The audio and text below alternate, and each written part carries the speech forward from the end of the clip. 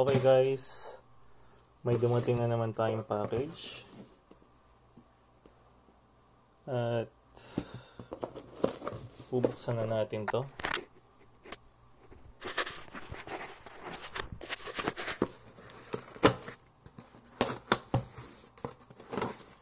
Hirap pala pag isang kamay.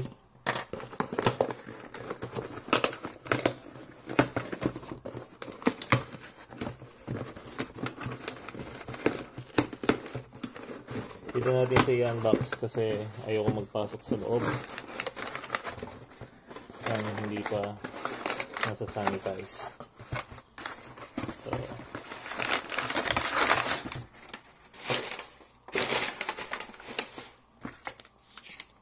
So, dumating na ang ating mass driver. Driver con compensator para sa Glock 19.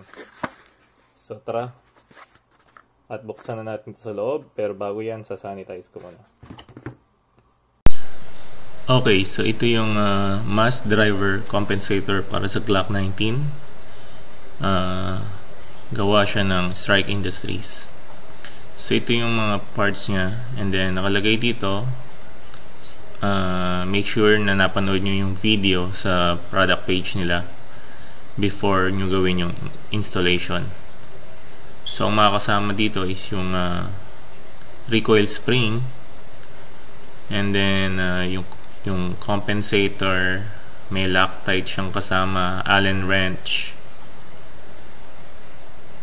and then meron siyang maliit din na spring sa loob ng compensator para sa labas habang tinatighten mo siya ng uh, Allen wrench and then make sure uh, tandaan nyo yung right position ng guide rod especially yung may, naka, may word na compact.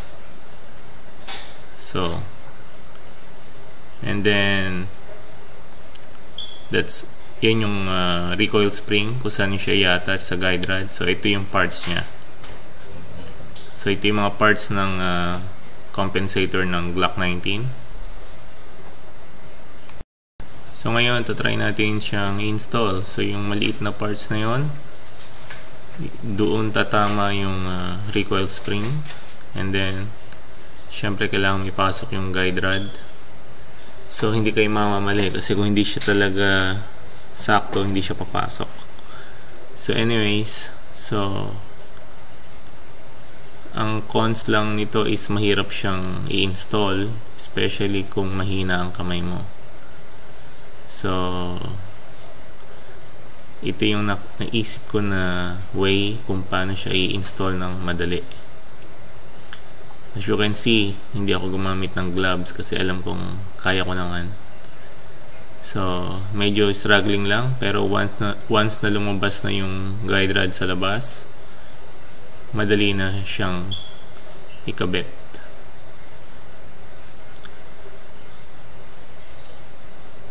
So, yung tinuturo ko na yun is yan yung word na compact.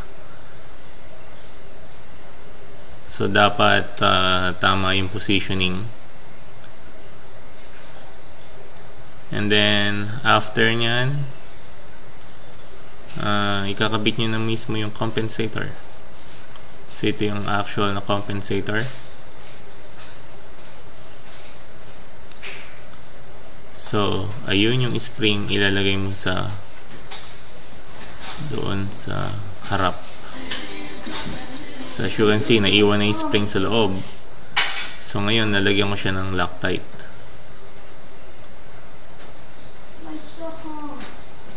just to make sure na hindi malalaglag yung lock natin pag tayo ay uh, nag-shoot na so nilagyan ko lang siya na paikot so yung kulay blue na yan yan yung Loctite na kasama sa package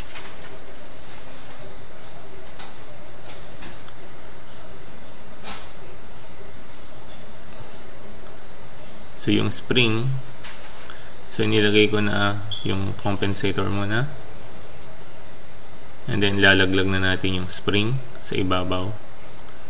and then tsaka natin ilalagay yung ating lock using yung kanilang uh, Allen wrench mismo nakasama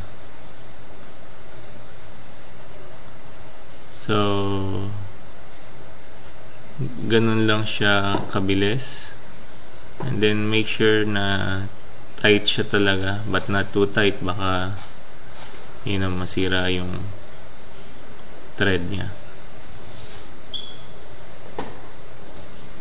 so ngayon i-try uh, natin siya later on ikabit doon sa sa body ng Glock 19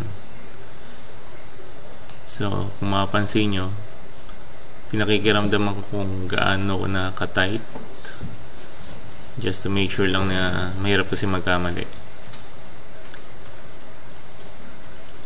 So ikakabit natin siya sa Glock 19 para makita nyo kung ano itsura niya after ng installation